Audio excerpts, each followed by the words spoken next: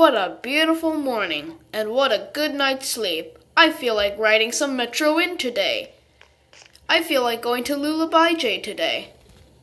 Let's ride. Bye bye, ONHQ. See ya.